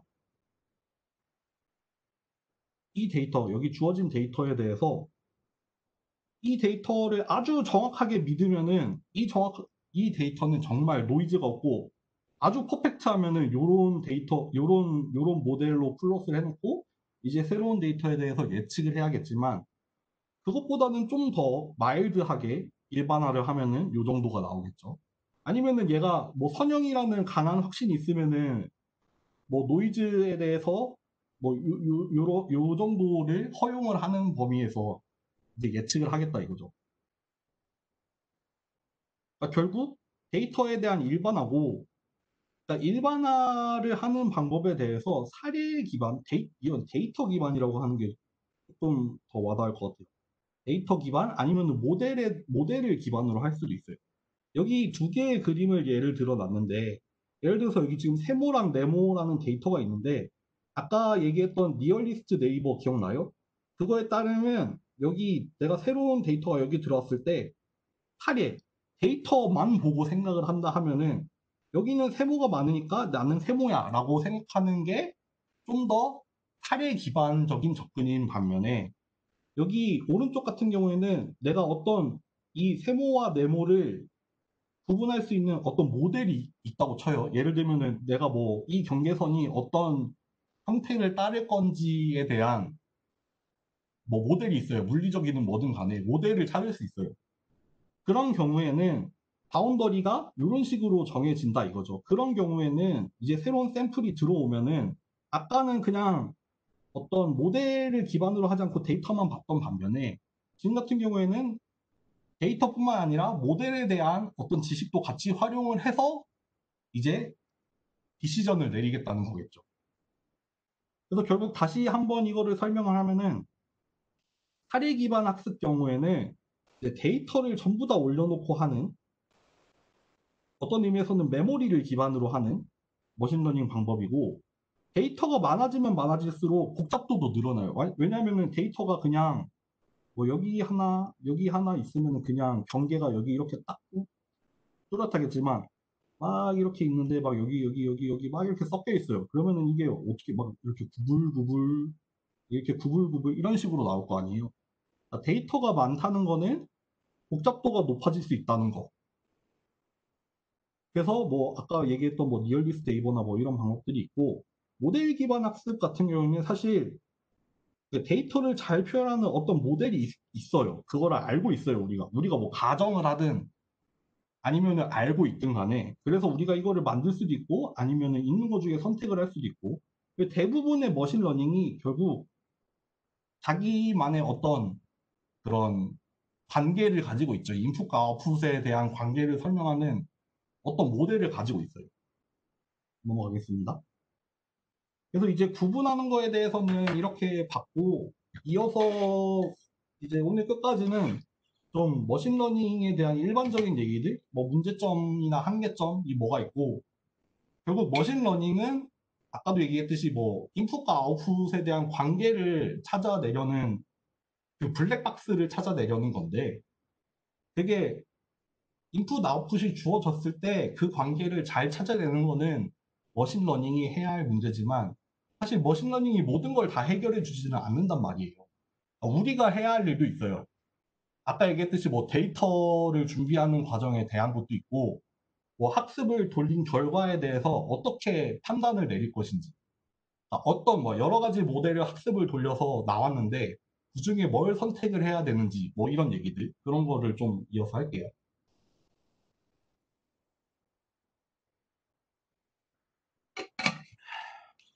예를 들면은 첫 번째로는 학습 데이터의 양에 대한 얘기를 하는데 이거 책에도 나온 그림인데 그리고 여기 이 그래프를 보면 X축은 데이터의 크기죠. 여기 Y축은 정확도가 돼요. 그래서 여기 이렇게 색깔별로 서로 다른 방법들을 썼는데 뭐 이거를 보면은 뭐 예를 들면은 여기 이 빨간색으로 나온 memory based 방법이 그래도 다른 방법들 중에서는 뭐 같은 데이터를 써도 이 방법이 비교적 좀 낫다, 안 좋다 이런 얘기를 할 수 있지만 오히려 이 그래프에서 나오, 나오는 건 뭐냐면 어떤 알고리즘도 데이터가 같으면은 크게 다르지 않다 이거죠. 오히려 중요한 거는 이 정확도의 변화를 가져온 유일한 단 한 가지 이유는 데이터의 크기일 뿐이었다. 알고 보니. 그러니까 데이터만 많으면 방법에 관계없이 다 좋아지더라.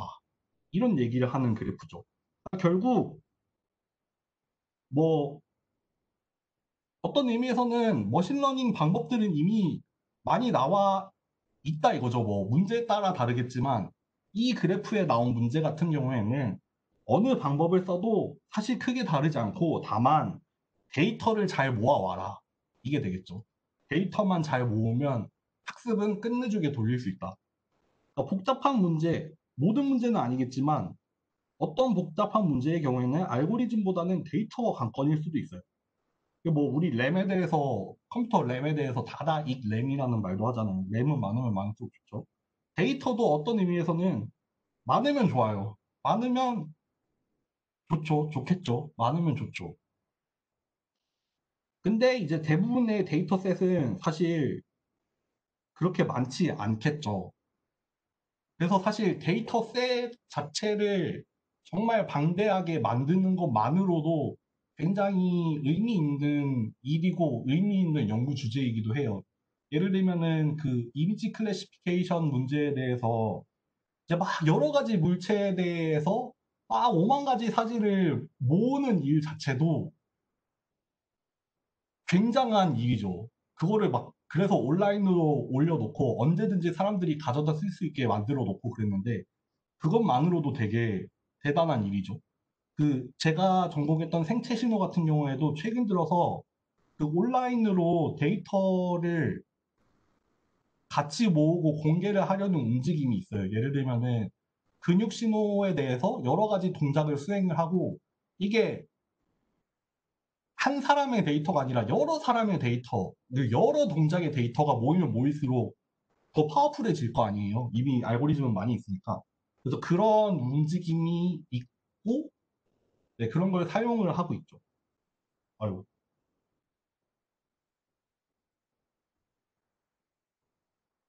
그래서 뭐 작은 규모의 데이터 같은 경우에는 알고리즘이 되게 critical한 영향을 미칠 수도 있다. 뭐 이런 얘기고. 두 번째 나오는 얘기는 이거 책에 좀 더 자세하게 얘기가 되겠지만 예를 들면은 이거 GDP 국가의 소득이랑 그 생활의 만족도에 대한 어떤 관계인데 일단 여기 먼저 파란색 파란색으로 우리가 맨 처음에 가진 데이터들로만 학습을 시키면 이런 점선이 나왔단 말이에요. 근데 여기에 빠진 데이터들이 있었어요. 이런 빨간색들.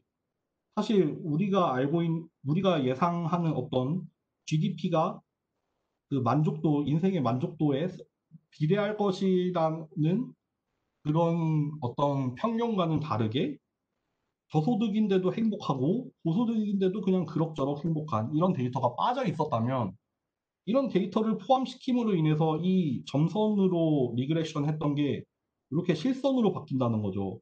이 기울기 차이가 상- 사실 상당히 큰 거잖아요. 지금 GDP에 따른 삶의 질을 보고 있는데 꽤 상관관계가 있다는 원래의 점선 결과보다 굉장히 낮아지죠. 큰 상관관계가 없다는 식으로 나올 수도 있죠. 그러니까 결국 우리가 뽑은 이 데이터가 얼마나 전체 데이터를 잘 대표하느냐. 도 잘 봐야 된다 이거죠. 뭐 옛날에 뭐 책에도 뭐 선거 얘기 나왔던 것 같은데 요즘에 뭐 선거 뭐 국회의원 선거 대통령 선거 있으면은 여론조사를 하는데 집 전화를 랜덤으로 돌려서 하는 여론조사는 한계가 있죠. 왜냐하면은 집에 전화가 있는 세대에 대한 문제가 있을 수도 있고 또 그 집에서 울리는 전화를 받는 사람이 누구 어떤 어떤 뭐 나이대냐 아니면 어떤 성별이냐 뭐 이런 게 다를 수도 있잖아요.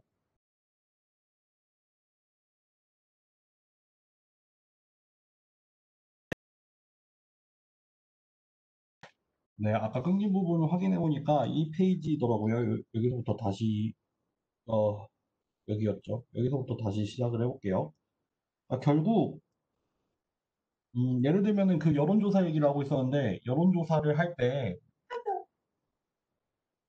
집에 있는 전화를 통해서 랜덤으로 돌려서 이제 선거에 여론조사를 한다. 이러면은 뭐 세대에 집 전화가 설치되어 있는 집 그리고 그 집에 있으면서 전화를 받을 수 있는 사람 뭐 그런 것들에 대한 어떤 바이어스가 들어갈 수 있다는 거죠. 집에 전화가 있을 수도 있고 없을 수도 있고 전화한 시간에 따라서 그 집에 누가 있을지도 달라질 거고 또 그 전화를 받아서 이제 대답을 하는 사람의 어떤 그런 게 달라지기 때문에 그 여론조사가 그 집단을 개- 대표할 수 없다는 게 문제가 되겠죠. 뭐, 뭐 다양한 뭐 연령대나 뭐 사회적으로 다양한 배경을 가진 사람들 뭐 그런 거를 다 뭐 하려면은 뭐 핸드폰으로도 할 수도 있는 거고 뭐, 뭐 다른 방법들이 많잖아요. 아, 그렇기 때문에 여기서도 이 데이터가 처음에 있던 이 파란색 데이터가 전체 집단을 얼마나 잘 대표를 했느냐에 따라서 이 결과가 달라질 수 있죠. 사실 좀 더 나아가서 얘기를 하면은 이 전체 데이터에 대해서 어떤 회기가 맞느냐, 뭐 원래의 점선이 맞느냐, 아니면은 뭐 바뀐 실선이 더 맞느냐. 이것도 사실 어떻게 보느냐에 따라서 달라질 수도 있는 거죠. 아니면은 뭐 그룹을 나눠서 해석을 해야 되는 걸 수도 있을 거고, 뭐 경향성에 대해서 그걸 따르지 않는 어떤 아웃라이어는 어떻게 되냐. 뭐 이런 것들이 사실 정말 복합적으로 얽혀 있는 거죠. 그렇기 때문에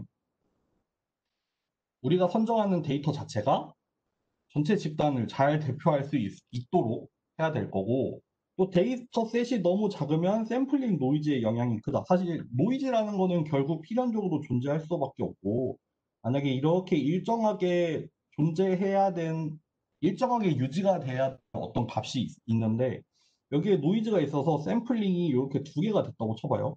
그럼 요거 두 개만 있는 입장에서는 지금 있는 데이터가 어떤 상황인지를 모르니까 이게 뭐 이런 식으로 회기를 갖는 건지 아니면 뭐 여- 노이즈가 이렇게 나왔을지 이렇게 나왔을지 사실 모르는 거잖아요. 이게 데이터가 점점 더 많이 쌓여서 여기 주변으로 막 이렇게 많이 형성이 돼야 이제 아 노이즈가 어느 정도고 평균이 어, 디쯤에서 형성이 되는지 이런 어떤 분포를 알 수 있을 텐데 dataset이 작으면 sampling noise의 영향이 클 수밖에 없죠. 통계적으로도 사실 그럴 수밖에 없죠. 많이 모일수록 그 노이즈의 영향에 대해서 좀 더 자유로워질 수 있다. 마찬가지로 dataset이 크더라도 애초에 샘플링이 bias가 돼 있으면은 참값보다 다른 데 있으면은 그러면은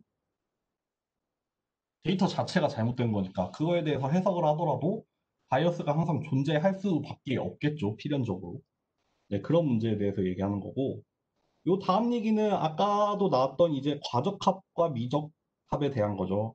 그래서 결국 아까 이 그림을 살펴보면은 여기 이 오른쪽으로 올수록 모델의 복잡도가 더 높아진다는 거죠. 이 경우에는 뭐 그 다항식의 차수가 점점 높아지는 식으로 모델의 복잡도를 높였고 이제 반대로 갈수록 더 낮은 거죠. 그래서 여기 뭐 0차부터 1차, 3차, 9차까지 나왔고 결국 우리 이렇게 파란색으로 주어진 데이터에 대해서 두 가지 trade off가 있죠. 충분히 데이터의 경향성을 나타내면서도 이 데이터가 가지고 있는 어떤 오차나 노이즈에 대해서도 충분히 허용을 하는 그 두 가지 trade off에 대해서 우리가 모델을 적합하게 선정을 해야 되죠. 여기 왼쪽 같은 경우에는 너무 모델이 단순해서 아직 데이터의 경향성에 대해서 좀 설명이 안 되는 것 같죠. 왜냐하면 이런 노이즈가 조금 이상한 형태로 나타났으니까. 여기 이 세 번째 그림 같은 경우를 보면 적당히 노이즈가 있으면서도 적당히 데이터의 경향성도 설명을 할 수 있죠. 근데 사실 판단하기 어려워요. 지금은 초록색 선이 참이라는 선이 있으니까 그런 거지. 사실 데이터만 놓고 보면 알기 어렵죠. 만약에 데이터가 더 많이 쌓인다거나 하면은 더 좋은 결과를 얻을 수도 있을 거고, 아니면 주어진 데이터 내에서 현재의 모델이 뭐 underfitting이냐 overfitting이냐 이런 거를 좀 판단할 수도 있겠죠. 여기 overfitting 같은 경우에는 현재의 데이터를 너무 많이 신뢰하는 거죠. 그러니까 지금의 데이터들을 모두 perfect하게 묘사할 수 있는 어떤 모델이 필요할 것이다 라고 해서 과하게 fitting이 된 모델의 결과를 나타낸다고 할 수 있습니다. 이런 경우에는 이제 이 원래 있던 데이터 주변에 새로운 데이터가 들어와도 그 경향성이 너무 너무 극단적으로 변하게 되겠죠. 지금 이 그래프의 모양을 보듯이. 그러니까 과적합이 된 경우에는 이제 학습이 데이, 된 데이터에 대해서는 아주 아주 좋은 성능을 보이죠. 근데 처음 보는 데이터에 대해서 과연 얼마나 일반화할 수 있느냐가 문제가 될 거고 미적합이 된 경우에는 좀 비교적 쉽죠. 모델이 너무 단순하니까 학습된 데이터에서조차 부정확하다. 그래서 사실 이 얘기를 조금 더 하면은 여기 한 페이지를 추가를 해서 얘기해 볼게요. 이제 대개 어 그런 식의 그래프가 자주 등장을 하죠. 예를 들어서 여기 모델에 복잡도가 있고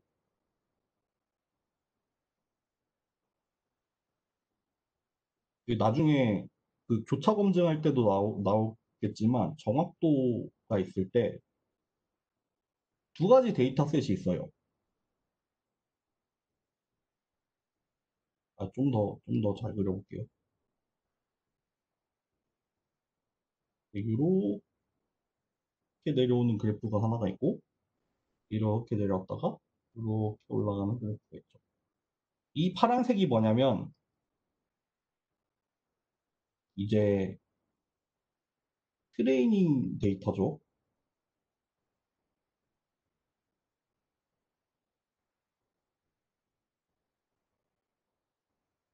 그러니까 machine learning 알고리즘을 학습하는 데 사용한 dataset이고 이게 예를 들면 실전에 나갔을 때의 결과죠. 테스팅이라고 하죠. 뒤에서 나옵니다. 아, 이거 반대로 그렸네요. 이게 정확도가 아니라 뭐 여기 같은 경우는 오차라고 얘기를 하는 게 낫겠네요.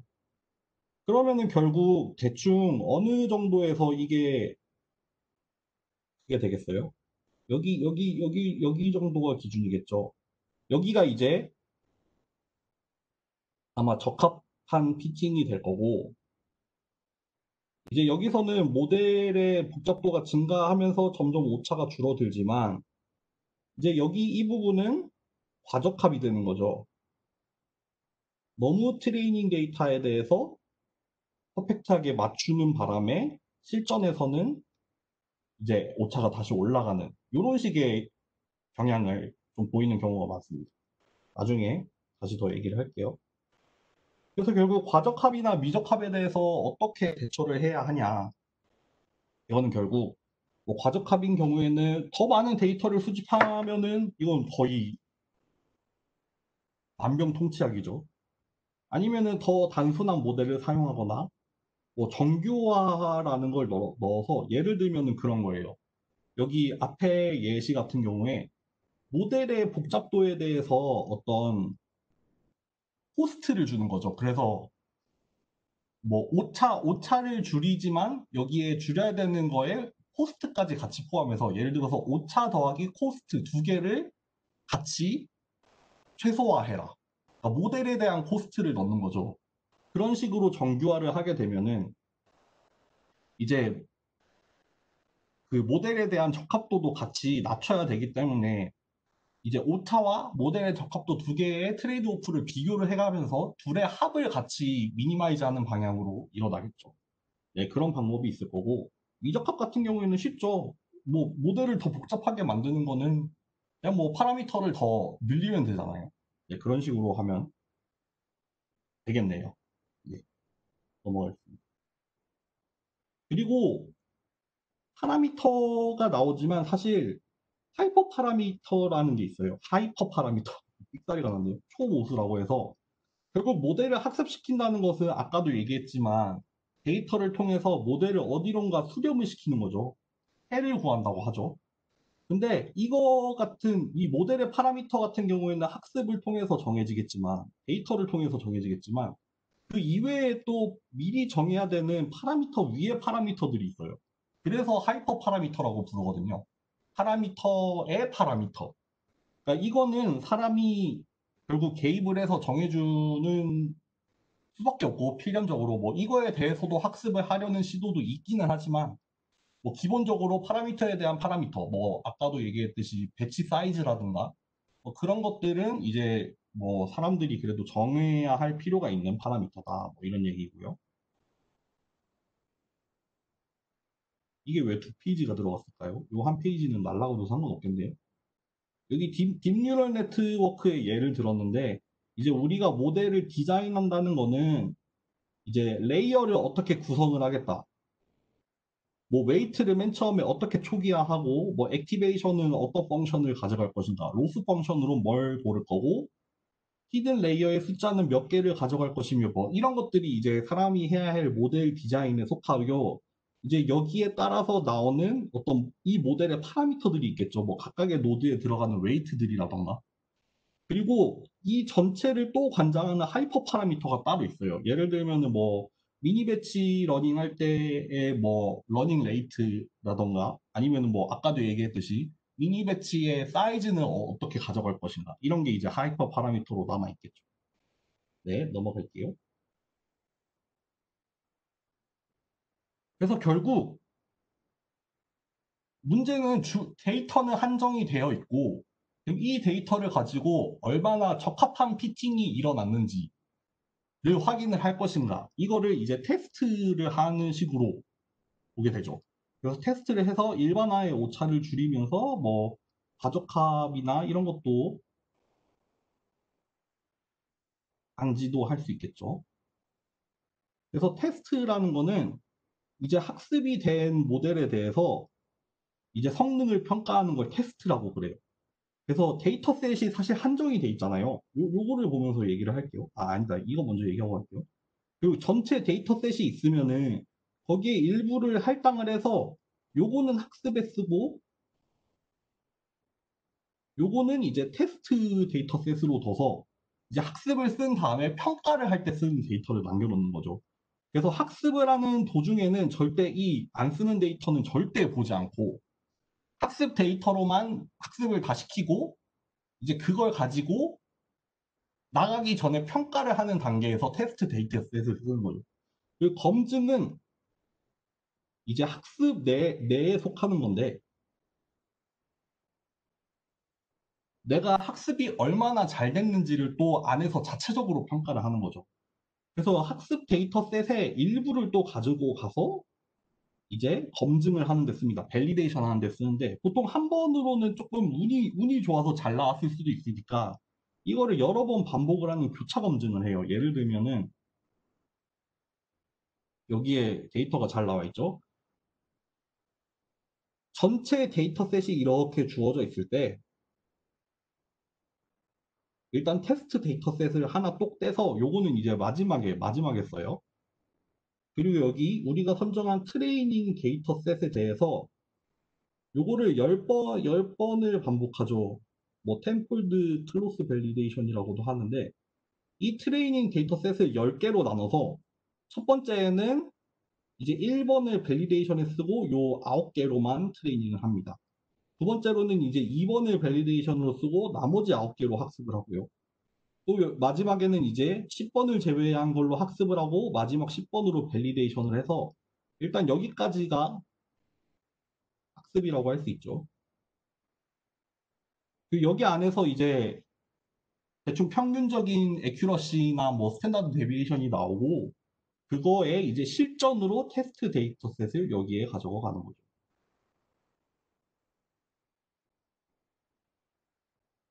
네.